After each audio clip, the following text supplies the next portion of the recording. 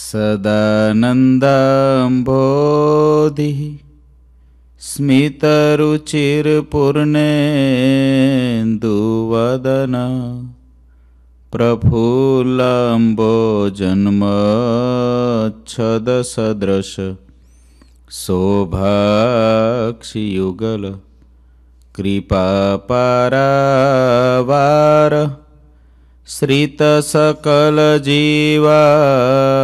ति सुखदो महाश्रेयो मूर्तिर् जयति हि नारायणमुनि वर्णिवेशरमणीयदर्शनं मन्दहासरुचिरात्नाम्बुजं पूजितं सुरनरोतमेर्मुदा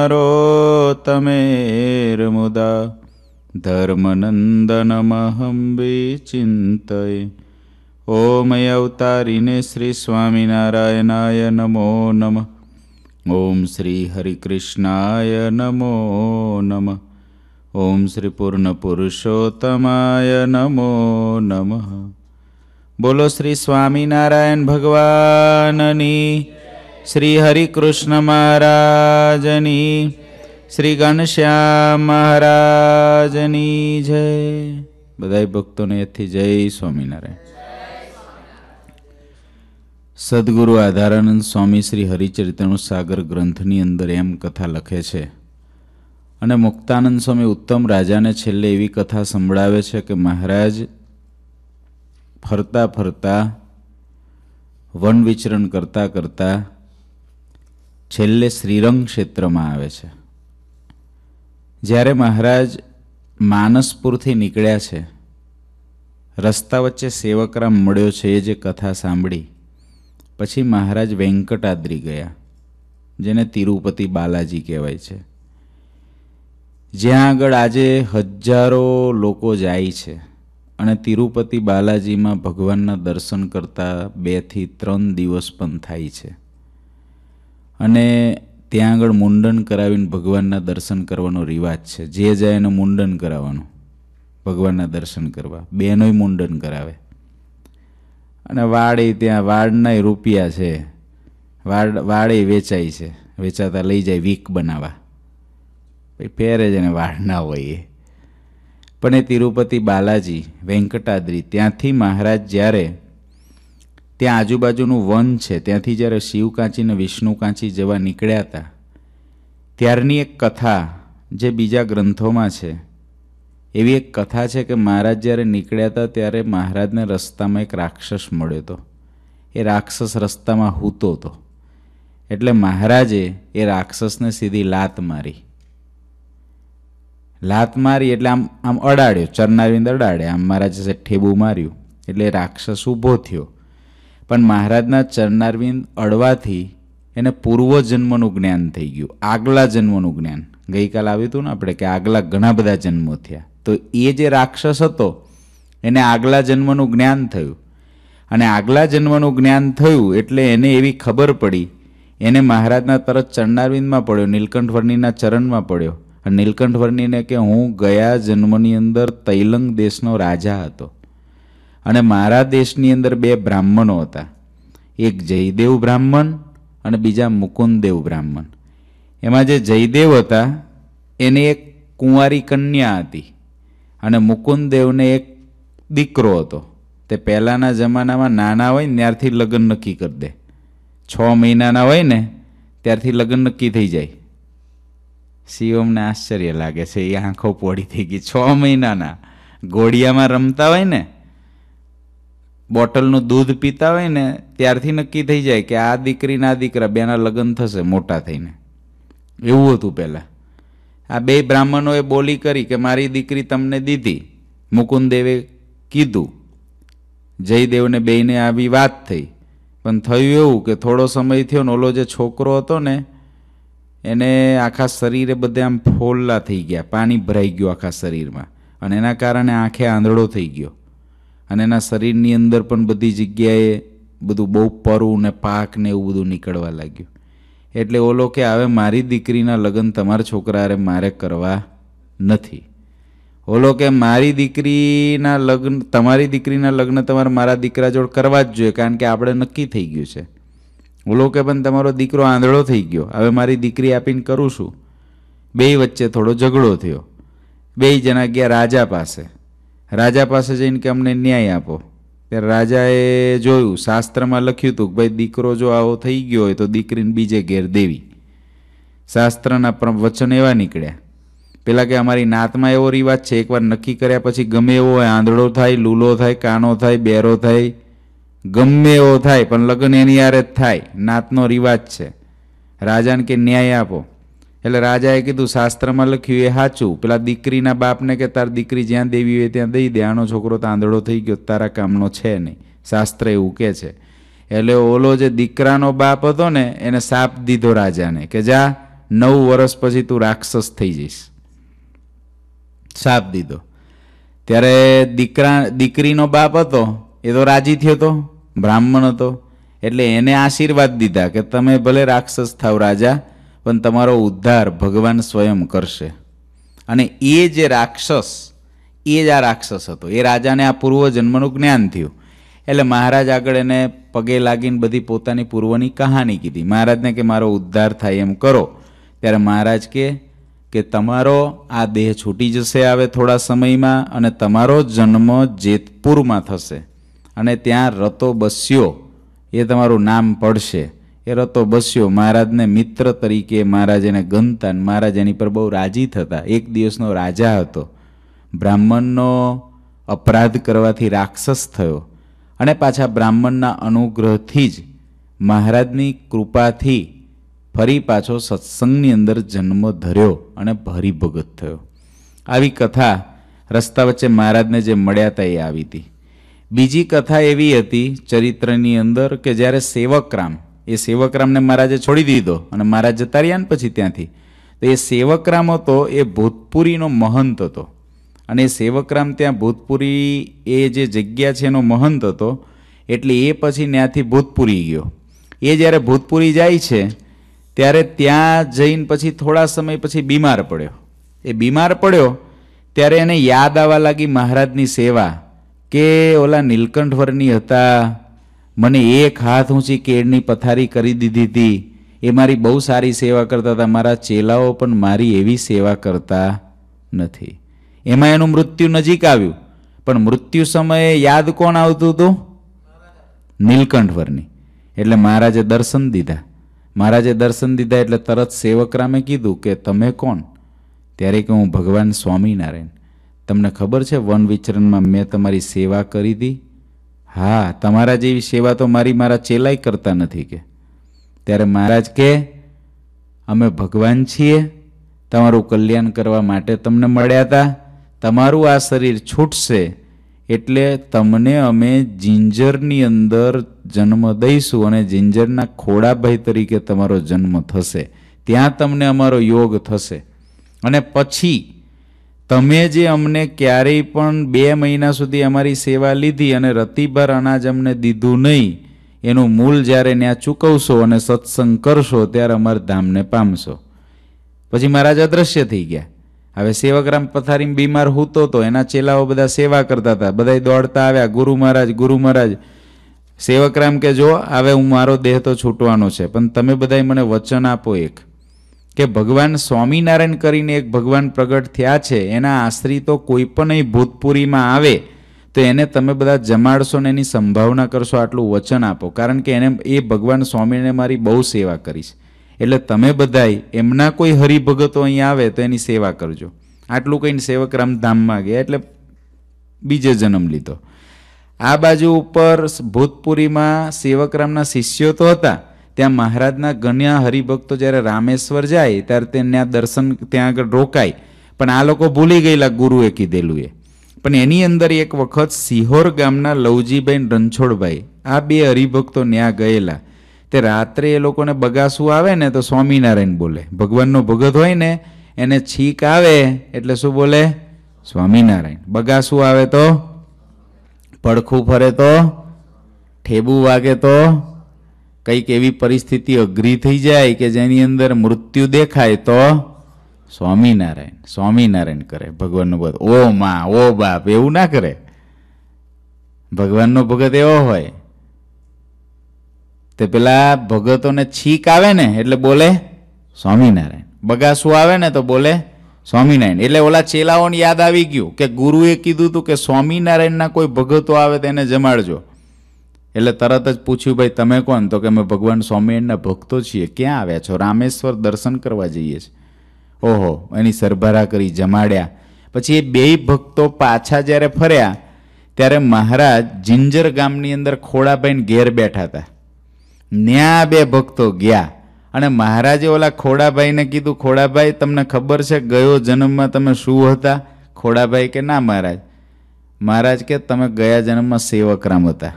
સાધુ હતા. અમે તમારી સેવા કરી હતી. તમે અમને છે ને આટલું ખાવા દીધું નહોતું.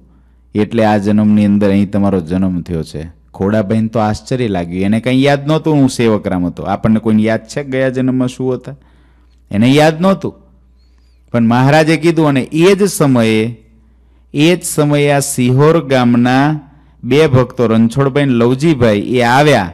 આવીને મહારાજને કીધું, મહારાજ હજુ એક કથા અમે આગળની કહીએ. પછી એને આખી કથા કીધી કે અમે જ્યારે ત્યાં ભૂતપુરી ગયા, ત્યારે ભૂતપુરીમાં સેવકરામના શિષ્યો મળેલા, એમને અમને આવી વાત કરી. મહારાજ કે બસ એ સેવકરામ, એ જ આ ખોડાભાઈ સામે બેઠા એ.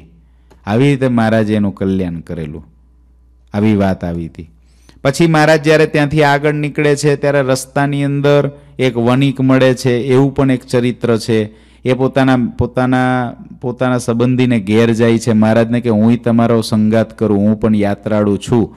બે જ્ઞાન પછી ઓલા સંબંધીને ઘેર ગયા ને તો ઓલો કે મારી દીકરી યારે લગ્ન કરો. મહારાજને કે, મહારાજ કે ભાઈ લગ્ન કરવા નથી નીકળ્યો, લગ્ન તોડાવવા નીકળ્યો. મને ક્યાં તમે અને મહારાજ ત્યાંથી ભાઈ છૂટી ગયા. આગળ ગયા, તે પાછો એક સાધુ મળ્યો. મહારાજને કે હું તમારી ભેગા રહીશ, મારે બહુ ત્યાગ વૈરાગ છે. મહારાજ કે, મારી જોડે નહીં ટકાઈ, રહેવા દે. તો કે, નહીં, હું ત્રણ ઘેર ભિક્ષા કરું છું. ભિક્ષા મળે તો ખાવાનું, ના મળે તો ઉપવાસ કરવાનો. મારો આવો નિયમ છે. એને એવો કેફ હતો કે, મહારાજ, એવો કોઈ વૈરાગવાળો નહીં. પણ મહારાજ કે, હું તો ભિક્ષાઈ માગવા નથી જતો વસ્તીમાં. આ ચમકી ગયો કામની ભેગા ના રહેવાય. એટલે એ આગળથી સાથ છોડીને જતો રહ્યો. પછી મહારાજ એકલા ચાલે છે અને આવે આગળની કથા આવે છે. મહારાજ શ્રીરંગ ક્ષેત્રની અંદર પહોંચ્યા છે કાવેરી નદીને કાંઠે. ત્યાં મહારાજ રોકાયા અને ત્યાંથી આવે મહારાજ આગળ ચાલે છે પૂર બીજું તરંગ ચુમ્માલીસ કાવેરી સે ચલત બયે શ્રી હરિ પરમ દયાલ. બારમલા રહી દેશ में આયે જન પ્રતિપાલ. રામ રાજા તેહી દેશ કે, ભક્તિવાન ભરપૂર. સદા સબદેશ સબ દેત ભાવતી ઉર. પરમ દયાળુ અને જન પ્રતિપાલક આવા શ્રી હરિ કાવેરીથી ચાલી નીકળ્યા અને મલબાર દેશમાં આવ્યા. દક્ષિણની અંદર આ દક્ષિણ ભારતનો એક પ્રદેશ છે. દક્ષિણ ભારતની અંદર આ નામનું એક શહેર છે. એમાં એ જે પ્રદેશ છે, એ પ્રદેશની અંદર કાનાનોર તેલીચરી, કેલિકટ ને મેંગલોર આ શહેરો મુખ્ય છે અને આ બધા બંદરો છે, દરિયાઈ કાંઠો છે, દક્ષિણનો. ત્યાં મલબારની અંદર મલયાલમ ભાષા બોલાય છે. અને ત્યાંના લોકો દિવસમાં બે ત્રણ વખત સ્નાન કરે છે. સ્ત્રીઓ સ્નાન કરતી વખતે તેલની અંદર કાળા મરીને હળદરનો ભૂકો મેળવીને માથામાં ચોળે છે. અને મલબારમાં મા બાપની મિલકતનો ખરો વારસ દીકરો નહીં પણ ભાને જ ગણાય છે. આ હરિચરણ સાગરમાં નથી. અમે જે સંશોધન કર્યું એમાં છે કે ત્યાં દીકરો વારસદાર ના થાય ભાને જ વારસદાર થાય. અને આ એ જે મલબાર પ્રદેશ છે, એમાં મુખ્ય ચોખા થાય છે, નાળિયેર થાય છે, કોફી થાય છે અને મરી થાય છે. અને માછલા પકડવાનો પણ ત્યાં દરિયા કાંઠો એટલે એ ધંધો પણ સારો ચાલે છે. શંકરાચાર્ય છે, એ શંકરાચાર્યજી મહારાજ થયા, એમની જન્મભૂમિ છે મલબાર. બહુ પવિત્ર દેશ અને બહુ જ આહલાદક કોઈ જાય તો એને ત્યાં રહેવાની ઈચ્છા થઈ જાય. એવો મલબાર પ્રદેશ છે. એ દેશના રાજાનું નામ હતું રામ. રાજાનું નામ શું હતું? રામ. અને તે ઘણા ભક્તિમાન હતા. બહુ ભક્તિવાળા રાજા હતા. હૃદયની વિશુદ્ધ ભાવનાથી આખા દેશમાં સદાવ્રત આપતા. એ રાજા શું કરતા? આખા મલબાર દેશની અંદર સદાવ્રત ચલાવતા. સદાવ્રત એટલે ફ્રી ઓફ ફૂડ ફ્રીમાં ફૂડ ખવડાવવાનું બધાને જમાડવાના, એને સદાવ્રત કહેવાય. રામ રાજા એવું સેવાનું કાર્ય કરતા. એ પ્રદેશને ચારે બાજુ પર્વત હતો. એ મલબાર પ્રદેશની ચારે બાજુ પર્વત હતો, બધી બાજુ પર. અને એની શોભા ઘણી છાયેલી હતી. સુગંધી ચંદનના ઝાડ પણ હતા. લવિંગ, સોપારી, દ્રાક્ષ, એલાયચી, મરી, તજ વગેરે અનંત પ્રકારના તેજાના તે પ્રદેશમાં લાખોની સંખ્યામાં થતા. અને તે પર્વતને ચારે તરફ ફરીને જોયો. જાત જાતની વેલો વૃક્ષોને વીંટળાઈ ગઈ હતી. મહાન સુગંધ તે પર્વતરાજમાં ચારે બાજુ છવાઈ રહ્યો હતો. તે પ્રદેશમાં અનેક પ્રકારના ફળો અને ફૂલો ઠેક ઠેકાને જમીન ઉપર પડ્યા હતા. જેટલા સારી જાતના મેવા કહેવાય છે બધા એ પર્વતમાં ભરપૂર હતા. એ પર્વતમાં જઈએ એટલે ભૂખ્યા ના રહીએ. કાજુ, બદામ, પિસ્તા, ખારેક, ખજૂર, અંજીર બધું પડ્યું હોય હેઠું. ભૂખ લાગે એટલે લાઈવ ભોજન ચાલુ ને. એ પહાડમાં જવાય, હા? એ પહાડમાં રમવાનું. રમ્યા પછી ભૂખ લાગે એટલે ખાવાનું. નદી હોય એટલે જવું હોય તો, હા? નાવા જવાનું, સ્નાન કરી લેવાનું. બધું નજીક. પહાડો હોય એટલે ઝરણા હોય, નદી હોય, પાણી જેટલું જોઈએ એટલું મળે. ખાવાનું પણ જેટલું જોઈએ એટલું મળે, પીઝા ના મળે, હા ને? કાજુ બદામ મળે, પણ પીઝા ના મળે, પાસ્તા ના મળે. ત્યાં જોઈએ તો. પણ કાજુ બદામ મળી જાય. ખારેક મળે. એવો પહાડ હતો. એ પહાડ ઉપર જવાનો એક જ દ્વાર માર્ગ હતો. પહાડ ઉપર જવાનો રસ્તો એક જ હતો. તે સિવાય બીજે રસ્તે જવાતું નહીં. આ દેશ જેવો બીજો કોઈ રસાળ દેશ નથી. ત્યાંના લોકો દયાળુ અને સંતોનું પ્રતિપાલન, સેવા કરનારા હોય છે. એ પ્રદેશમાં વધારે પડતો પાપનો પ્રવેશ નથી. એ પ્રદેશમાં પાપ બહુ નથી જાજુ. તેમજ દારૂ અને માંસ ખાવાનો રિવાજ પણ લેસ માત્ર નથી. અને ઊંચી જાતનું જેટલું અનાજ ગણાય છે, બધું ત્યાં થતું હતું. ત્યાં બારે માસ રુચિ પ્રમાણે વરસાદ થતો રહે છે, એટલે જરૂરિયાત પ્રમાણે વરસાદ પણ થતો. પર્વતમાંથી સુંદર નિઝરના નીકળે છે, તેની નીલ વર્ણની શોભા થાય છે, ત્યાં ઘાસચારાની તો ક્યારેય ખેંચ હોતી જ નથી. બધા જ પશુઓ રૂસપુષ્ટ ને મતવાલા દેખાય. બધા પશુઓ ખાધે પીધે સુખી. કારણ કે ઘાસ સરસ મળે એટલે એ સુખી. અને માણસને સરસ મજાના મેવા મીઠાઈ મળે એટલે એ સુખી. જો તમે બધા કેવા રૂષ્ટપુષ્ટ છો. ઇન્ડિયાના છોકરાને દૂધ માંડ મળે. એસી રૂપિયે મુંબઈ જેવું શહેર હોય તો ત્યાં તો ચાલીસ રૂપિયા લીટર દૂધ હોય, સિત્તેર રૂપિયા લીટર દૂધ હોય અને સો રૂપિયા લીટર દૂધ હોય. ત્રણ પ્રકારના દૂધ હોય. એવું. ઇન્ડિયાના છોકરાને દૂધ ગોતવું મુશ્કેલ. અને તમારે ચીજ સિવાય ચાલે નહીં. એવું થઈ ગયું, બોલો. તમે બહુ સુખ્યા, રૂષ્ટપુષ્ટ થતા જાઓ જો જીગર ભગત, હા? બધાય જો આપણા નીલકંઠ ભગત ને બધા સુખ્યા ભક્તો છે. આ બધા થોડા દુખિયા છે. થઈ જશે ધીરે ધીરે સુખી. મલબાર દેશ એવો કે જ્યાં આગળ બધા પશુઓ પણ રૂષ્ટપુષ્ટ છે. બધાય ખુશ. માણસોય ખુશ અને પશુઓય ખુશ. અને ત્યાંથી મહારાજ પશુઓ રુષ્ટપુષ્ટ દેખાય છે. જે સિંહલ દ્વીપ કહેવાય છે, એટલે શ્રીલંકા. ભારતની અંદર સાઉથમાંથી શ્રીલંકા આમ જુદું દેખાય છે ને? એટલે મહારાજે દક્ષિણમાંથી શ્રીલંકા કહેવાય છે, એને પણ દૂરથી જોયું. મહારાજે લંકા નગરી જોઈ. અને ત્યાં શ્રીલંકાના એક ટંગા મનુષ્યની જાતિને અશ્વમુખ મનુષ્યની જાતિ પણ જોઈ. તે મલબાર દેશમાં ચાર માસ સુધી ત્યાંના રાજાને સુખકારી શ્રીહરિએ દર્શન આપ્યા.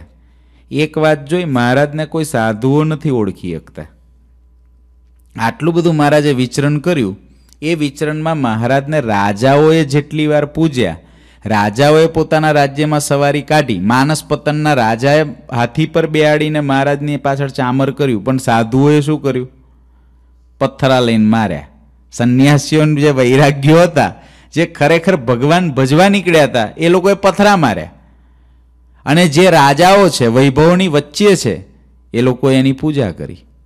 બસ, એટલે જ શાસ્ત્ર કહે છે કે જગત જેને ધર્મી જાણે છે, ધર્મી નથી, અને જગત જેને અધર્મી જાણે છે, અધર્મી નથી. રાજાના કલ્યાણ થયા, અને ઘરબાર છોડી નીકળેલા જેના માટે એના કલ્યાણ ન થયા ઉપરથી પાપ કર્યું એને. આ કલ્યાણના માર્ગમાં આવું થાય. ભગવાન કોને ઓળખાઈ જાય એનું કાંઈ નક્કી નથી. શ્રીહરિના દર્શન કરીને એ મલબાર દેશનો જે રાજા હતો, નામ શું હતું? રામ રાજા. એ રામ રાજાએ ભગવાનના દર્શન કરીને બહુ ખુશ થઈ ગયા. હરિ કે દર્શન કરી નૃપતેહી મહામગન ભયે મન એહી પૂજે હરિ ચહો એ માસ પ્રજંતા પૂજે હરિ ચહો એ માસ પ્રજંતા નયે નયે મેવા જેવાય રહંતા નયે નયે મેવા જેવાય રહંતા રાજાને મહારાજ ઓળખાઈ ગયા મહારાજને દર્શન કરીને બહુ ખુશ થયા. રાજાએ ચાર મહિના સુધી મહારાજની પૂજા કરી અને રોજ નવા નવા મેવા મહારાજને જમાડ્યા. મહારાજને રોજ કાજુ, બદામ, ખજૂર, ખારેક, અંજીર, બધા જ સરસ મજાના મેવાઓ ભગવાનને જમાડ્યા. શ્રીહરિતને તે દેશ મનમાં ઘણો ગમી ગયો. ભગવાનને રહેવાની ઈચ્છા થઈ ગઈ, હા. બહુ મજા આવે. પહાડોની વચ્ચે હોય, નદીઓ વહેતી હોય અને ઝાડ એટલા સરસ હોય એમાં આવું ખાવા પીવાનું બધું મળી રહેતું હોય, ઝાડ ઉપરથી ડાયરેક્ટ, તો ત્યાં મજા આવે રહેવાની. પણ તમને લોકોને ના આવે.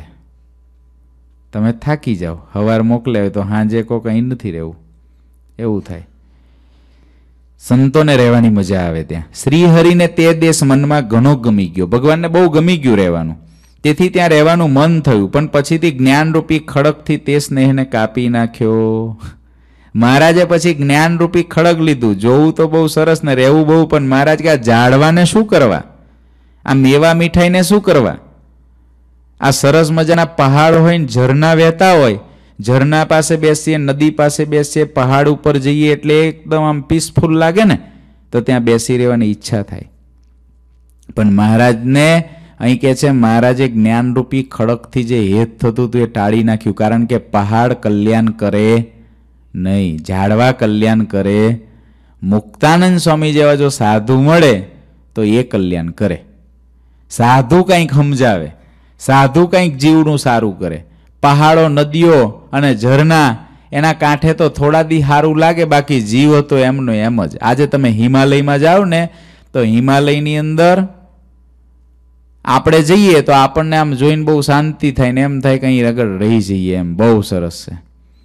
પણ ત્યાં હિમાલયની અંદર લોકો છે ને ટીવીના એન્ટેના લગાવીને ડીશ ડીશ કનેક્શનો લગાવીને ત્યાં બધી સિરિયલો મૂવી જોતા હોય. હિમાલયમાં બેઠા, ત્યાંના લોકો એ જ કરતા હોય. આપણે તીર્થયાત્રા કરવા જઈએ, આપણે ભજન કરવા જઈએ જે સ્થાનમાં, ત્યાં રોજ રહેવાવાળા છે, એ રોજ ત્યાં મૂવી ટીવી ફેશન એના વિના એને હાલતું નથી. ગુરુજી સાથે અમે એકવાર ગયેલા, યાત્રામાં તે એક બાબા બેઠેલા, જટાબટા બાંધેલી, કપડાં બપડા કાંઈ આમ બહુ પહેરેલા નહીં બબૂદ બબૂદ લગાવેલી ને આમ બે ગયેલા. ગુરુજી કે બહુ તપસ્વી લાગે છે, બહુ ભદની લાગે છે. ગુરુજીને મહિમાનું અંગ એટલે ગુરુજીએ થોડી વાર વાત કરી અને પછી કીધું કે બાબાજી જો આંખ ખોલે તો આપણે વાતો કરીએ. તો બાબાજીએ આંખ ખોલી, સમાચાર સાંભળી લીધા. આંખ ખોલી પછી બધો પ્રશ્નોત્તરી થઈ કે તમે શું કરો છો, આ કરો છો, તો કે બસ હું આગળ આ બધું કરું છું. ફોટો પડાવો છે તમારી સાથે. ઊભા રહો કે હું આવું છું હમણાં. તૈયાર થઈને આમ એનું જે મૃગ ચર્મક જે વીટી વીટીને ત્રિશુલ બિશુલ લઈને જટાબટા બાંધીને ગુરુજીની બાજુમાં એને ઊભા રહી ગયા. ફોટો પડાવવા. અને ફોટો લઈ પડાવવા આવે ને ત્યારે બાજુની અંદર એક મોબાઈલ પડ્યો હતો. એટલે તમે આટલા બધા ભભૂત લગાવીને કપડાં પહેરતા નહીં મોબાઈલ શું કરો છો અહીં? તો કે બધું નીચેનું કનેક્શન ચાલે છે. નીચેના માણસ હોય ને એની સાથે અહીંથી કનેક્શન ચાલે બધું. એ વખતે જે ચાલતું હશે, ફોનમાં જે જે સિસ્ટમો હશે, એ બધી અબ, એકદમ એકદમ સારામાં સારી, ઊંચા લેવલની જેમ અત્યારે વોટ્સએપ કેમ ચાલુ ગયું બજારમાં? એમ એ વખતે જે ચાલતું હશે, એ ત્યાંથી બાબા ઉપયોગ કરતા હતા. ત્યાં બેઠા. આપણા જેવા જાય ત્યારે પલાઠીવાળી નાક બંધ કરીને બેસી જાય. બાકી તો જય સ્વામિનારાયણ એવું થાય. સમજે ને? એવા હોય એટલે મહારાજને ત્યાં ગમ્યું નહીં. મહારાજે જ્ઞાનરૂપી ખડકથી એનું બંધન કાપી નાખ્યું. મહારાજને ખરેખર નદી કાંઠે અને પહાડોમાં રહેવું ગમતું. મહારાજે પોતાનો સ્વભાવ કીધો. પણ છતાંય મહારાજ ત્યાં ન રહ્યા. અને મહારાજ રહ્યા ક્યાં? લોજમાં મુક્તાનંદ સ્વામી ભેગા. ક્યાં રહ્યા? મુક્તાનંદ સ્વામી ભેગા. કારણ કે મહારાજે વિચાર્યું કે આ પહાડો અને નદીઓના કાંઠાઓ, કે આ ઝાડવાઓ ક્યારેય શાંતિ આપી શકતા નથી, શાશ્વત શાંતિ તો સાધુ જ આપે. પછી મહારાજ શ્રીહરિ ત્યાંથી ચાલવા તૈયાર થયા. ત્યારે ત્યાંના ત્યાંના રામ નામે જે રાજા હતા તે આવ્યા અને શ્રીહરિના ચરણોમાં નમી પડ્યા અને વિનંતી કરીને બોલ્યા, મહારાજ કે હવે અમારે આગળ જવું છે, ચાર મહિના રહ્યા, ત્યારે પેલા રાજા દોડતા આવ્યા. મહારાજના પગમાં પડ્યા અને મહારાજને કે મારું બધું આ રાજ્ય, શરીર, કુટુંબ, પરિવાર વગેરે તથા ધન, સંપત્તિ, હાથી, ઘોડા, આ બધું હું તમને અર્પણ કરું છું. કેવો રાજા? ધન, સંપત્તિ, પરિવાર, શરીર, હાથી, ઘોડા, બધું તમને અર્પણ કરું છું. બધું તમને આપું છું. આ ભૌતિક પદાર્થોમાં મને રુચિ નથી. મને એકમાત્ર આપના દર્શન કરવામાં રુચિ છે. હે પ્રભુ, તમારા દર્શન કરું છું ને હવે મને ખાવું ભાવતું નથી. હવે મને ઊંઘ ઊંઘ પણ આવતી નથી. હવે મને આ વૈભવો ભોગવવા ગમતા નથી. મને હવે આ રાજગાદીએ બેસવું ગમતું નથી. મને હવે હાથીએ બેસવું પણ ગમતું નથી. મને ઘોડાદિક વાપરવું ગમતું નથી. બધું મારે તમને આપી દેવું છે. રાખો તમારી પાસે. તમે ધર્મના પુત્ર છો. તમારા દર્શન કરવામાં મને રુચિ છે. અમને જીવન આપીને હવે મારશો નહીં. પ્રભુ, તમે અમને જીવાડ્યા. તમે અમને બાંધી લીધા. હવે મારશો નહીં. તુમ બી ન જીએ ન જીએ એસે. તુમ બી ન ખાએ ન ખાએ તેસે. તુમ બી ન મોલા લગત મસાના તુમ બી ન મોલા લગત મસાના સુખ લગત સબ સૂલી સમાના. સુખ લગત સબ સૂલી સમાના. ઓલો રાજા કે છે, સાંભળજો આવે. આપના વિના જે જીવ્યા તે ન જીવ્યા જેવું છે. ભગવાનને યાદ કર્યા વિના ભગવાનની પૂજા કર્યા વિના ભગવાનનો ભગત થયા વિના જે જીવે છે, એ ના જીવ્યા બરાબર છે. અને તમારા વિના જે ખાધું એ ન ખાધા બરાબર છે. ભગવાનને સંભાળ્યા વિના ખાય એ ધૂળ ખાય છે ગુણાતીતાનંદ સ્વામી કે શું ખાય છે? ઠાકોરજી જમાડતા હોઈએ અને શ્લોક ના બોલીએ તો શું ખાધું કહેવાય? ધૂળ ખાધી કહેવાય પથ્થરા ખાધા કહેવાય. અને ઠાકોરજી જમાડતા જમાડતા શ્લોક બોલીએ, ભગવાનને સંભાળીને જમીએ, તો ભગવાનનો પ્રસાદ જમ્યા કહેવાય. એટલે ક્યારેય પણ ઠાકોરજી જમાડીએ ત્યારે શ્લોક બોલવાના ભૂલવાના નહીં. અહીં મંદિરમાં હોઈએ કે ઘેર હોઈએ? સ્કૂલમાં હોઈએ કે જીમમાં હોઈએ? જ્યાં હોઈએ ત્યાં. પણ મોઢામાં કંઈ મૂકીએ, એટલે સૌથી પહેલાં બાજુમાં જે ભગત બેઠા હોય, કોઈ હોય તેમને કહેવાનું જય સ્વામિનારાયણ. જય સ્વામિનારાયણ કહી, પછી શ્લોક બોલવાનો. શ્લોક બોલીને પછી જમવાનું. પછી પાછો મધ્ય એક શ્લોક બોલવાનો. પછી પાછું છેલ્લે એક શ્લોક બોલવાનો, પૂર્ણાહુતિમાં. ત્રણ વખત બોલો, ત્યારે બરાબર ભોજનને પ્રસાદ કર્યો કહેવાય. અને જો એવું ના કરો, તો શું ખાધું કહેવાય? ધૂળ અને પથરા. એ ખાધું કહેવાય. એવું રાજા કહે છે. ભગવાનને સંભાળ્યા વિના ખાય, ધૂળ ખાય છે. અને તમારા સિવાય આપના સિવાય રાજમેલ સ્મશાન સમાન લાગે છે. બધા સુખો પણ સોડીના જેવા લાગે છે. ઘરેના ને વસ્ત્રો ઝેર જેવા જણાય છે. બોલો, આ રાજાને કેવું હેત થઈ ગયું? ઘરેના પહેરવા ઝેર જેવા લાગે છે? ચંદન તો કિચડ સમાન લાગે છે. રાજા કે તમારા સિવાય તમારું પ્રસાદીનું ચંદન ના હોય તો મને કિચડ જેવું લાગે. પાણીનો બોટલ હોય અને પેક હોય મિનરલ પાણીનો બોટલ અને આપણે પીવું હોય તો બોટલને આમ ખોલી અને પછી પી લેવાય. બરાબર ને? બોટલને આમ ઉપરથી ખોલવાનો અને ખોલ્યા પછી પી લેવાનું. કેટલા કે છે એવું? કે આ ઓકે છે? બોટલ તોડીને પી લેવાય? કેટલા ઓકે કહો છો તમે? કોઈ નહીં? તો શું કરવું પડે? પાણીનો બોટલ તોડ્યા પછી શું કરવાનું? હે? ભગવાનને ધરાવવાનું અને પછી પીવાનું. જો એ પીવો તો બરાબર કહેવાય, ભગવાનનો પ્રસાદ પીધો કહેવાય. અને જો એવું ના કરો, તો ગટરનું પાણી પીધું કહેવાય. કયાનું પાણી? ગટરનું પાણી પીધું કહેવાય. એને ભગવાનને ધરાવીને જ્યુસ પીવો, તો ગટરના પાણી પીધા બરાબર છે. ભગવાનને ધરાવ્યા વિના કોઈ પણ વસ્તુ ના વપરાય. પાણી ના પીવાય, જ્યુસ ના પીવાય, કંઈ જ નહીં. જ્યારે પણ મોઢામાં મૂકે ભગવાનને ધરાવેલું છે. નથી ધરાવી તો ધરાવી દેવું. અને પછી પાછું જે સ્વામિનારાયણ કહી એક કડી બોલી અને પછી જમીએ, ત્યારે ભગવાન રાજી થાય. ગળામાં પહેરેલા પુષ્પહાર સર્પ જેવા અનુભવાય છે અને ચંદ્રના કિરણો આગ જેવા લાગે છે. આ બધું કોને થાય? જેને ભગવાનમાં હેત થયું હોય એને થાય. બીજાને ના થાય. મને નારી પિસાચીની પિસાચીના જેવી દેખાય છે. અત્યારે મારી સ્થિતિ તો આવી થઈ ગઈ છે. આપ જો મને જીવાડવા ચાહતા હો, તો અહીંયા ટકી જાઓ. રાજા કેવો હેતવાળો ચાર મહિનામાં થઈ ગયો. બોલો. સ્ત્રી દીઠી ગમતી નથી. હાર પહેરવા ગમતા નથી. ખાવાનું ભાવતું નથી. જોવાનું ગમતું નથી. રાજમહેલ ગમતો નથી. કપડાં સારા પહેરવાના ગમતા નથી. આભૂષણ ગમતા નથી. આવો થઈ ગયો રાજા. એટલે રાજા કે, મારે હવે જો તમે મને જીવાડવા માંગતા હો, તો મારું જીવન જ આવે તમે થઈ ગયા છો. આપણે આ બ્રીથ કરીએ છીએ ને, શ્વાસ લઈએ છીએ. એ બંધ કરી દઈએ વીસ મિનિટ માટે તો. ટ્વેન્ટી મિનિટ માટે બંધ કરી દઈએ તો શું થાય? ભગવાનના ધામમાં પહોંચી જઈએ ને. એ આપણું જીવન કહેવાય. શું કહેવાય? જીવન, લાઈફ કહેવાય આપણી. શ્વાસ છે, લાઈફ કહેવાય. આ જે રામ રાજા છે ને એની લાઈફ ભગવાન થઈ ગયા. કોણ થઈ ગયા? ભગવાન. ભગવાન હોય તો જ હું જીવી શકું. આવો થઈ ગયો. આ ભગવાનના પ્રેમી ભક્તો સાચા ભક્તનું લક્ષણ છે જે ભગવાન વિના જીવી ના શકે. ત્યારે શ્રીહરિએ તેને કહ્યું, હે સુગ્ય રાજા, સાંભળો. તમે તો ઘણા ડાયા છો. અમે અહીંયા આવ્યા, તમને મળ્યા. હૃદયમાં ઘણી શાંતિ થઈ છે. અમે તમારા ઉપર રાજી થયા મહારાજ કે, અમે તમારા પર બહુ રાજી છે. માટે જ્યારે તમે અમને અંતરમાં સંભાળશો ત્યારે આવા ને આવા અમારા દર્શન તમને થશે. આવું કહીને શ્રીહરિ રાજાને પ્રેમથી ભેટ્યા અને તેથી તેમના મનમાં ઘણી શાંતિ થઈ. મહારાજ કે, હું તો ભગવાન છું. હું કંઈ મનુષ્ય નથી. તમે મને જ્યારે સંભાળશો ને, ત્યારે અત્યારે હું તમારી સામે જેવો દેખાઉં છું ને, એવો ને એવો જ દેખાઈશ. તમારી જોડે જોડે છું એવું જ તમને લાગશે. આપણાથી કોઈ મનુષ્ય હોય એ દૂર હોય, પણ ભગવાન કેટલા દૂર હોય? તમે પાર્કમાં રમવા ગયા આજે તો ત્યાં ઘનશ્યામ મહારાજ પણ તમારી ભેગા આવીને તમને પાછળ જોતા હોય. તમારી ભેગા રમતા પણ હોય. તમે જો એવું યાદ કરો કે મહારાજ તમે અમારા ભેગા રમવા ના આવો, તો મહારાજ તમારા ભેગા રમવા આવે.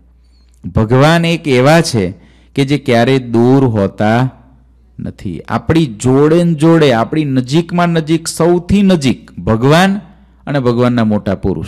બે સૌથી નજીક છે. ભગવાન અને ગુરુજી જેવા મોટા પુરુષ આપણાથી દૂર છે જ નહીં. આપણે ભલે એમનાથી દૂર જઈને પછી ગમે તે ધમાલ કરી લઈએ અને ગમે તે કરતા હોય, પણ બધું દેખાતું હોય એમને. શું થતું હોય? બધું જ દેખાતું હોય. આ શું બોલે છે ખૂણામાં?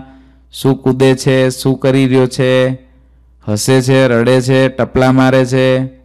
ખેંચે છે? કોકનું લઈ લે છે? નાખી દે છે? બધું જ જોવે. ભગવાનનો કેમેરો એવો છે. અને પછી જો કોઈ ડાયો ભગત હોય, તો ભગવાન એની ઉપર રાજી થાય. રાજી થાય ને? એટલે ભગવાને રાજાને કીધું, રાજા, તમે જ્યારે પણ સંભાળશો, ત્યારે હું તમારી નજીક આવી જઈશ, હંમેશા તમારી પાસે રહીશ. એવું કરીને મહારાજ ભેટ્યા. કેટલો ભાગશાળી રાજા કહેવાય કે મહારાજ એને ભેટ્યા. અને વર્ણિની બહાર દેખાતી મૂર્તિ અંતરમાં વસી ગઈ. પછી એ રાજાને શું થયું? બહાર જે મહારાજ દેખાતા હતા, એ પોતાના હૃદયમાં દેખાવા લાગ્યા. એટલે રાજા ફરીવાર આગળ કાંઈ બોલ્યા નહીં. પછી રાજાને થઈ ગયું કે હવે ભગવાન મારી ભેગા રહી ગયા. હવે મારે વાંધો નહીં. આપણે માનો કે મારે અહીંયા આગળ ન્યૂજર્સીમાં રહેવું હોય તો પછી હું ન્યૂજર્સીમાં રહી શકું, પણ જ્યોર્જિયા રહી શકું, એ જ ટાઈમે ના રહેવાય. તમે અત્યારે અહીં છો, તો તમે જ્યાંથી આવ્યા છો તમારા ઘેરથી, ત્યાં અત્યારે તમે દેખાતા હો ત્યાં બધાને? ત્યાં જઈ શકો તમે અત્યારે અહીં બેઠા તકા ત્યાં દેખાવ. દેખાવાય? ના થાય એવું. પણ ભગવાન કેવા છે? બધે જ છે. એટલે બધે જ દેખાય. અહીં પણ દેખાય, ધામમાં પણ દેખાય, દૂર હોઈએ તો દૂર પણ દેખાય, હુતા હોઈએ તો ત્યાં પણ દેખાય, ભગવાન બધે દેખાય. રાજાની સાથે ભગવાન રહેવા લાગ્યા. એના હૃદયમાં ભગવાને નિવાસ કર્યો. એટલે રાજા કાંઈ બોલ્યા નહીં. પછી શ્રીહરિ જ્યારે ચાલવાના થયા, ત્યારે રાજાએ અપાર પૂજાની સામગ્રીઓ લઈને પૂજા કરી.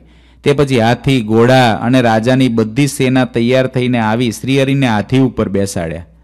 જો રાજા કેટલો ભાવનાવાળો છે, હાથી પર મહારાજને બેસાડી દીધા.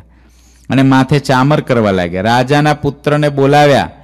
રાજાના બંને પુત્રો જ્યારે ચામર કરતા હતા, ત્યારે બધી પ્રજા જય જયકારનો ધ્વનિ કરતી હતી. તે સમયે અનંત વાજિંત્ર વાગતા હતા. ચોપદાર છડી પોકારતો હતો. જય જયકારના ધ્વનિથી આકાશ બધું ગાજી ઉઠ્યું.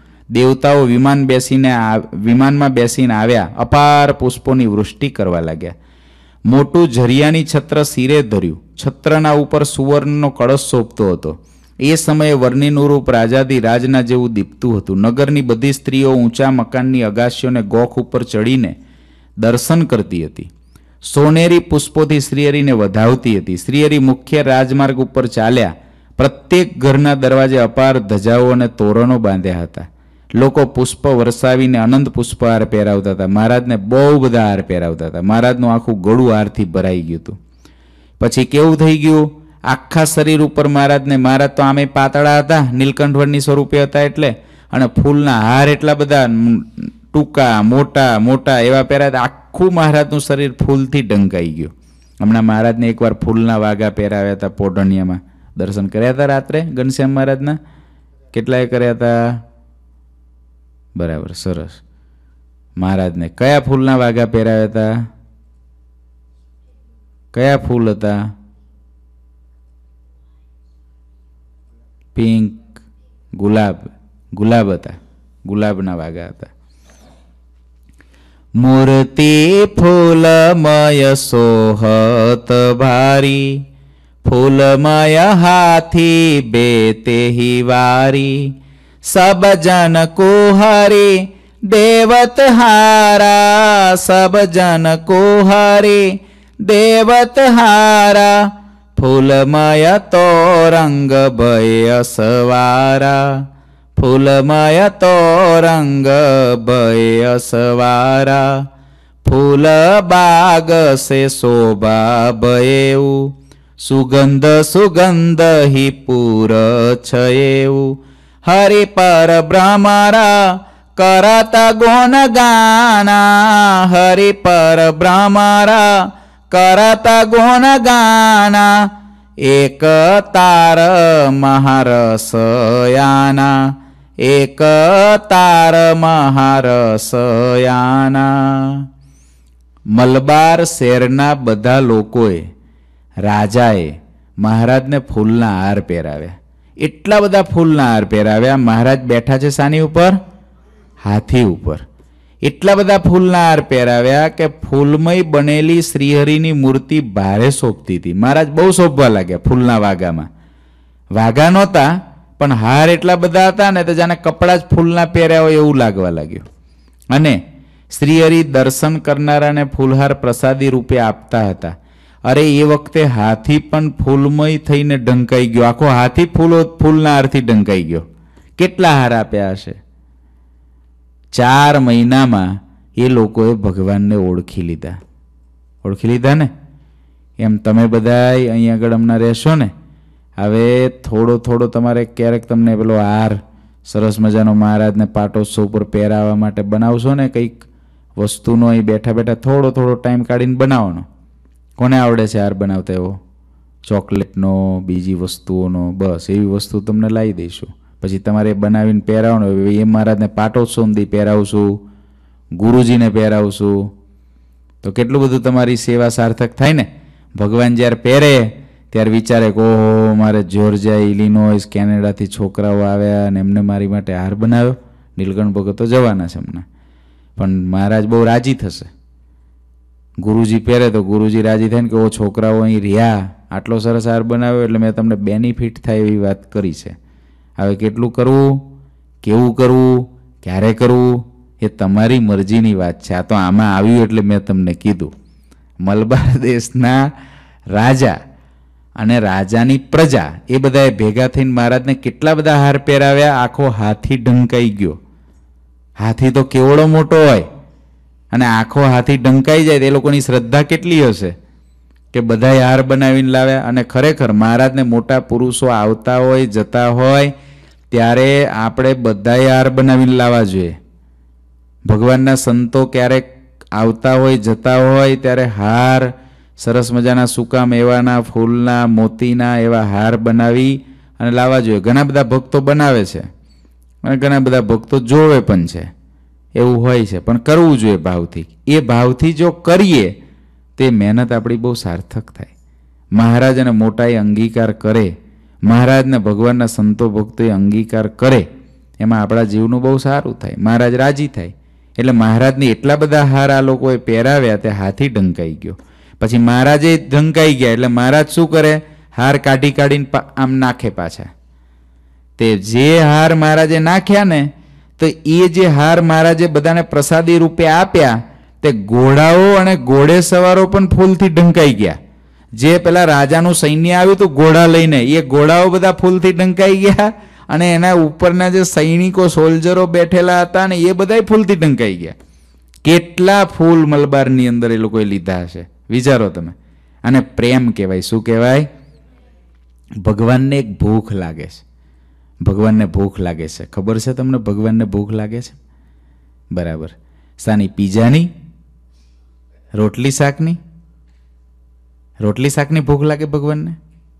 ભગવાન શું જમે છે? તમે ભગવાનને થાળ ધરાવ્યો છે ક્યારેય? ઘરે? થાળ ધરાવ્યો છે? તમે જે ધરાવ્યું હોય, એમાંથી રોટલી, શાક, ભાત, દાળ, સલાડ, એવું ક્યારેય ઓછું થયું? હે? આ બધા નથી થયું. નથી થયું ને ઓછું. તો પછી ભગવાન જમે છે શું? રોટલી ઓછી ના થઈ, ભાત ઓછો ના થયો, દાળ ઓછી. તો કોઈ દી પૂછ્યું નહીં તમે મહારાજ, તમે શું જમો છો? પૂછ્યું જ નહીં તમે? શિવમ ના પૂછ્યું ક્યારે તો હવે ક્યારે પૂછશો? પૂછશો ક્યારે? કે તમે જમતા જ છો ને, આમાંથી કંઈ ઓછું થાય તો જમ્યા કહેવાય ને? આપણે કેમ આઈસ્ક્રીમ ઓછો થઈ ગયો? જમ્યા તો ઓછો થયો ને? એમ એમ તમે પેલું ભગવાનને ધરાવો ને ભગવાન જમે નહીં, તો ઓછું જમ્યા નહીં એટલે તો ઓછું થયું નહીં. તો તમે કહો જમે, તો ભગવાન શું જમે છે? શું જમે છે જીગર ભગત? ભગવાન આપણો ભાવ જમે છે. શું જમે છે? ભાવ. ભગવાનને રોટલી, શાક, આઈસ્ક્રીમ, પીઝા, કશાની ભૂખ લાગતી નથી. ભગવાનને એવું ગમે છે કે મારા ભગતે મને કેટલો પ્રેમથી ધરાવ્યું છે આ તમે આમ કંઈક જમતા હો આઈસ્ક્રીમ જમતા હો જ્યુસ પીતા હો આમ ભગવાનને આમ એક મિનિટ કે બે મિનિટ માનસી કરો છો ને? તો બે મિનિટ માનસી કરો, તમારી ડીશમાંથી ભગવાન ખાલી કરી દેશ ક્યારેય. હે, તમે કહો છો તો એવું ને, મહારાજ, જમો તમે. પણ ક્યારેય ખાલી કરી દીધું? અને ખાલી કરી દે બે પાંચ દિવસ તો ફરી ધરાવીએ ખરા આપણે? પછી કહીએ ખરા કે, મહારાજ, આવો જમવા, પહેલાં જમી લઈએ, પછી મહારાજને કહે, જમી લેજો. તો મહારાજ આપણો શું જમી લે છે? ભાવ જમે છે. આટલા બધા ફૂલના હાર, આ બધા મલબાર દેશના હરિભક્તો જે થયા એ લાવ્યા, મહારાજમાં ભાવ થયો લાવ્યા. એટલે મહારાજને કાંઈ ફૂલ નહીં, ફૂલની સુગંધ નહીં, પણ મહારાજે એમાંથી શું ગ્રહણ કરી લીધું એ લોકોનો? ભાવ. ભગવાન એમનો ભાવ જોઈને રાજી થઈ ગયા કે વાહ, રાજાનો ભાવ કેવો? રાજાના કુંવર, બે દીકરાઓ, એ લોકો મહારાજની સેવામાં બેઠા, એ લોકોનો ભાવ કેવો? આ મલબારની પ્રજા છે, એનો ભાવ કેવો? બધા ઘોડાઓ બધા ફૂલથી ઢંકાઈ ગયા. ઘોડે સવારો ફૂલથી ઢંકાઈ ગયા. આખી સવારી એવી જ લાગે કે જાણે ફૂલનો બગીચો હોય. આખી સવારી આમ જોયે ને કોઈ દૂરથી, એ વખતે કેમેરાનો તો પેલો હેલિકોપ્ટરથી આમ આમ ઉપરથી વ્યૂ લેવાય એવો. નહીં તો જો વ્યૂ લીધો હોત, તો મુક્તાનંદ સ્વામીએ વ્યૂ લઈ લીધો દૂરથી. મુક્તાનંદ સ્વામી આરે જ હતા મહારાજની. અદ્રશ્ય હતા, દેખાય ના એવી રીતે. એટલે સ્વામીએ જોઈ લીધું આખી સવારી કેવી લાગતી હતી? બગીચો હોય ને, ફૂલનો ગાર્ડન હોય, એવું લાગતું હતું.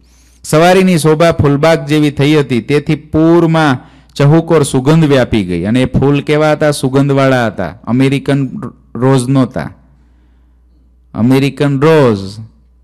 એની અંદર કોઈ પ્રકારની સુગંધ હોય નહીં, પણ ઇન્ડિયાના ગુલાબ હોય ને, ઇન્ડિયાનો મોગરો હોય ને, એમાં બહુ સુગંધ હોય.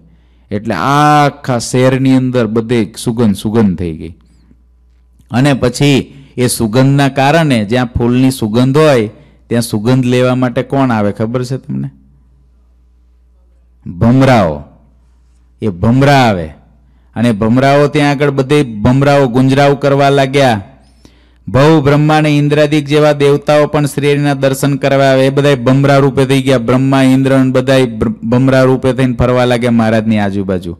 આ પ્રમાણે શ્રી હરિની સવારી પશ્ચિમ દરવાજે પહોંચી તે સવારીની શોભાનો કોઈ પાર જ ન હતો. કેસરયુક્ત ચંદનની વૃષ્ટિ ઘણી થઈ. આકાશમાંથી ચંદનની વૃષ્ટિ થઈ. ચંદન આવે ને? આ તમે ચંદન તિલક કરો છો ને, એ ચંદનના છાંટનાઓ ઉપરથી ઠંડા ચંદનના છાંટનાઓ દેવતાઓએ છાંટ્યા. આકાશમાંથી ચંદન પડવા લાગ્યું. આપણી શોભાયાત્રા નીકળી. ત્યારે કેમ જીના જીના જીના જીના જીના છાંટા હતા? એ અભિષેક કરવા આવ્યા હતા બધા દેવતાઓ. મહારાજનો અભિષેક કરવા આવ્યા. બોલો. અને તે સમય, તે સમયે બધા પ્રેમ રસમાં તરબોળ થઈ ગયા. સવારી જ્યારે પૂરની બહાર આવી, ત્યારે તુરંત શ્રી હરિ હાથી ઉપરથી નીચે ઉતરી ગયા. રાજા આવીને ચરણોમાં નમી પડ્યા. મહારાજ હાથીથી બહાર હવે ઉતરી ગયા, કારણ કે ગામની બહાર આવી ગયા છે. મહારાજને હવે ચાલતા થવું છે. રાજા પગમાં પડ્યા, વિનંતી કરવા લાગ્યા, હે દયાળુ, ફરીને દર્શન આપજો પાછા. ફરી આવજો અમારા દેશમાં. મહારાજને એમ કે છે, આપ તો ભક્તજનના પ્રતિપાલક છો. તમે તો ભક્તોના પ્રેમને વશ થઈને પ્રભુ જાઓ છો. તો અમે અમે તમારા ભગત છીએ, પાછા તમે અમારા આ ગામમાં આવજો. આપ ભક્તવત્સલને ભક્તોના ભયને ટાળનારા છો, માટે ફરીને આપ અમને યાદ કરીને અમારી સંભાળ લેજો. આપ તો નિર્મોહી છો. અમે મોહવાળા છીએ, માટે અમારું ધ્યાન રાખીને સંભાળ લેતા રહેજો. અમે તો મોહવાળા છીએ. તમે કેવા છો? નિર્મોહી છો. છતાંય પણ અમારી સંભાળ લેજો, અમે ક્યાંય રખડી ના પડીએ. અમારા જીવનમાં જે જે બંધન થશે તેમાંથી છૂટી શકવાના નથી.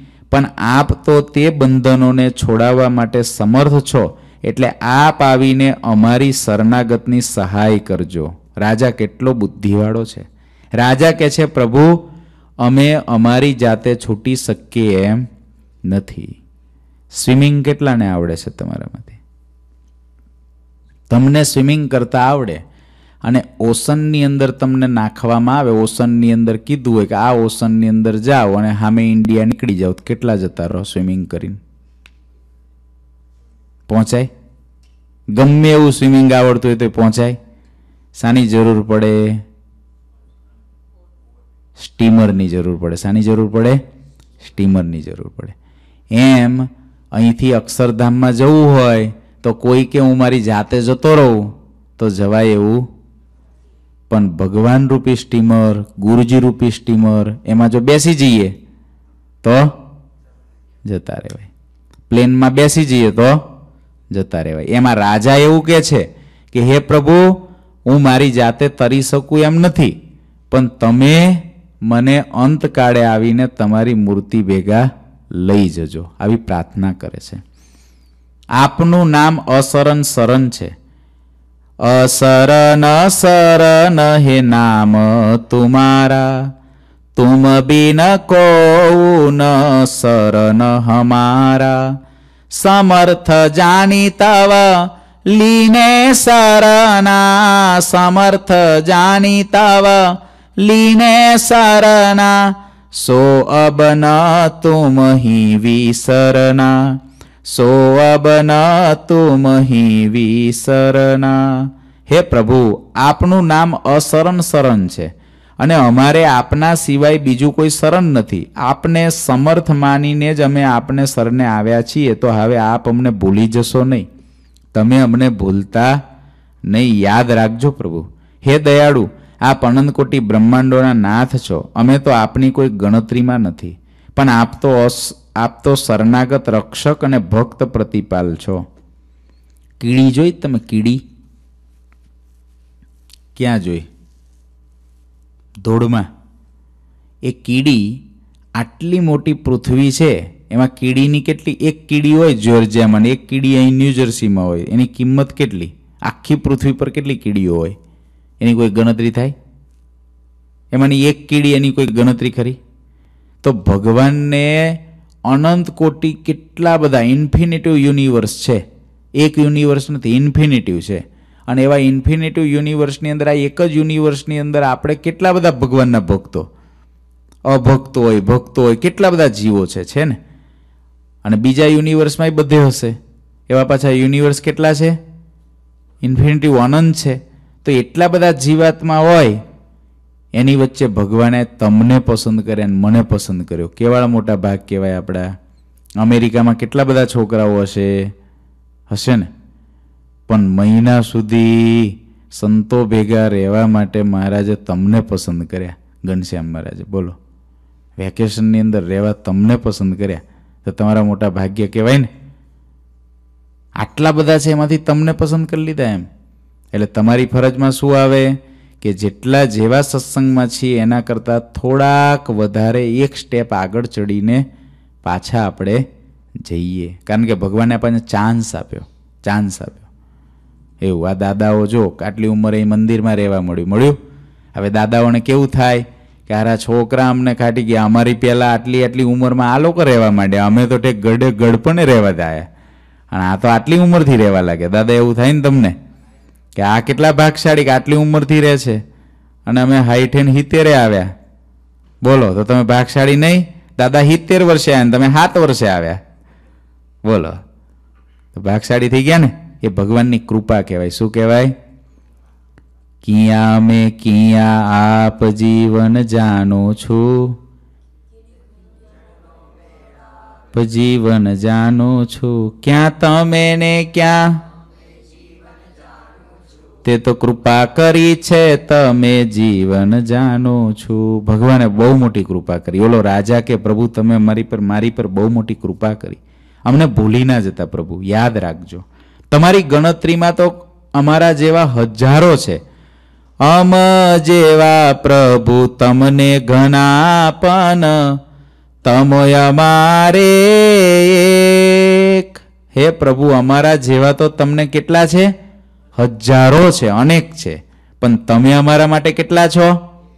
એક છો. આપણે બધા ભગવાન માટે ઘણા બધા છે, પણ આપણી માટે ભગવાન કેટલા? આપણે બધા ગુરુજી માટે ઘણા બધા છે, પણ આપણી માટે ગુરુજી કેટલા? એક જ. એટલે આપણા જેવા ઘણા હોય એમને, પણ એ આપણા માટે એક છે. અને એક છે, તો એ આપણા જેવા કેટલા બધાને સંભાળે છે? કેટલા બધાને યાદ રાખે છે? કેટલા બધાનું સારું કરે છે? કરે છે ને? એ ભગવાનની અને મોટા પુરુષની કૃપા કહેવાય. શું કહેવાય? કૃપા. માટે અપાર સામર્થ્ય ધારીને અમે તો અત્યંત અધમ છીએ. એમ જાણીને અમને ભવસાગરથી ઉગારવા માટે અપાર સામર્થ્ય ધારીને આપ અત્યારે આ ભૂમિ ઉપર પ્રગટ થયા છો. અનંત બ્રહ્માંડોના નારી પ્રાણ આપના હાથમાં છે, એટલે આપના ચરણોમાં માથું ટેકવીને કહું છું કે આપના ચરણો સિવાય અમારી બીજી કોઈ ગતિ ના થાય. રાજા કેટલો મુમુક્ષુ છે. કેટલી સ્તુતિ કરી એને. તમારા સિવાય મારી ક્યાંય ગતિ જ ના થાય. હું તમારા ચરણોમાં વારંવાર પ્રાર્થના કરું છું. મને એ જ વરદાન આપો. હે વરની, આપ તો ભગવાન છો. અમે આપને વિનંતી કરીને કહીએ છીએ, હવે આવો સુયોગ ફરી ક્યારે મળશે? હવે તમે પાછા ભેગા ક્યારે થશો? શ્રીહરિ ત્યારે હસ્યા. મહારાજ હસવા લાગ્યા. કારણ કે મહારાજને ખબર છે કે હવે પાછું ભેગા થવાનું, પાછું ભેગા થવાનું નથી. હવે તો સત્સંગમાં જન્મ ધરે, ત્યારે ભેગા થવાય. બાકી આવે મહારાજ કે હું પાછો મલબાર કંઈ ફરવા આવવાનો? હવે પાછો કંઈ કાજુ બદામને લવિંગ લેવા ફરી મલબારમાં નથી આવવાનો? ફૂલના હાર પહેરવા ફરી મલબારમાં નથી આવવાનો? મહારાજ હસ્યા, અને રાજાની છાતીમાં ચરનાર વિંદ આપ્યા. રાજા એવો મુમુક્ષુ છે ને, જો આજ સુધીના આટલા રાજાઓ મળ્યા, પણ બધા રાજાઓને મહારાજે કંઈક રાજીપો આપ્યો. પણ આ રાજા એટલો બધો મુમુક્ષુ છે કે મહારાજ આને ભેટ્યા જેટલું મહારાજે મહારાજે આ રાજાની સેવાને અંગીકાર કરી, નાના ભાવને અંગીકાર કર્યો, એટલો હજુ કોઈ આટલી કથાઓમાં કોઈ રાજાનો કર્યો નથી. ઉપરથી આ રાજા પાછો હજુ સ્તુતિ કર્યા જ કરે છે, તો મહારાજે એની છાતીમાં ચરનાર વિંદ દીધા. મહારાજના આ સહજ સ્વભાવ હતો. જ્યારે અતિ રાજી થાય ને મહારાજ, અતિ રાજી થાય, ત્યારે શું કરે? પોતાના ચરનારવિંદ ક્યાં આપે? છાતીમાં આપે. ભગવાનના ચરનારવિંદ ભગવાનના મોટા પુરુષો હોય ને, એના ચરનારવિંદ પોતાની છાતીમાં અને માથે લેવા જોઈએ. જ્યારે એ બહુ રાજી થઈ જાય, એ કે હું બહુ રાજી છું, બોલો, હું જોઈએ છે? ત્યારે કેવું કે તમારા ચરનારવિંદ માથે ને છાતીમાં આપો. શું કહેવું? તમારા ચરનારવિંદ છાતીમાં ને માથે આપો. માથે એવાના ચરનારવિંદ હોય એટલે અભયદાન મળે. અને છાતીમાં એવાના ચરનારવિંદ પધરાવીએ એટલે હૃદયમાં પુરુષોત્તમનો વાસ થાય. ચરનારવિંદને આમ છાતીમાં લઈને આમ પહેલાં છાપ કેમ પાડે? એમ ભગવાનના મોટા પુરુષો હોય ને એના ચરનારવિંદ આમ છાતીમાં લેવાય, માથે લેવાય. ભગવાન બહુ રાજી થાય ત્યારે ચરનારવિંદ આપતા, એટલે મહારાજે રાજાને ચરનારવિંદ આપ્યા. પછી ભક્તિવશ શ્રીહરિ બોલ્યા, આ ચરનાર મહારાજે રાજાની છાતીમાં ચરનારવિંદ આપ્યા અને પછી ભક્તિવશ શ્રીહરિ બોલ્યા, આ ચરનારવિંદની સેવા કરતા રહો. રાજાને આ પ્રમાણે ખુશ કર્યા. મહારાજે રાજી કર્યા. બોલો, રાજાને એવું તાન છે, મારે ભગવાનને રાજી કરવા છે. અને ભગવાનને કેવું તાન છે? મારે રાજાને રાજી કરવા છે. આપણે જો ભગવાનને રાજી કરવા મહેનત કરીએ તો ભગવાન આપણને રાજી કરવા મહેનત કરે. પછી શ્રી હરિ તત્પર થઈ ચાલતા થયા. તેમની ગતિ ગરુડના જેવી વેગવાળી હતી. ભગવાન પછી મલબાર દેશને છોડીને ચાલતા થયા ગરુડની જેમ સ્પીડમાં. જોત જોતામાં તો અદ્રશ્ય થઈ ગયા. મહારાજ અચાનક અદ્રશ્ય થઈ ગયા. હવે ક્યારે દેખાય? જ્યારે દેખાશે ત્યારે સ્વામી કહેશે કે હવે મહારાજ દેખાયા. અત્યારે મહારાજ મલબારથી નીકળ્યા છે. હવે દેખાતા નથી. અદ્રશ્ય થઈ ગયા છે. હવામાં ક્યાંય હવે દેખાશે પાછા. એટલે સ્વામી કે કાલ દેખાશે. આજે દેખાય નહીં. ઇતિ શ્રી સહજાનંદ સ્વામી શ્રી સિદ્ધાનંદ મુનિ વિરચિત શ્રી હરિચરિત્ર સાગરના દ્વિતીય પૂરમાં શ્રી હરિએ દક્ષિણ ભારતના મલબાર દેશના રાજાને દર્શન આપીને કૃતારથ કર્યો. એ નામે ચુમ્માલીસમો તરંગ સમાપ્ત થયો. શ્રી ઘનશ્યામ મહારાજની જે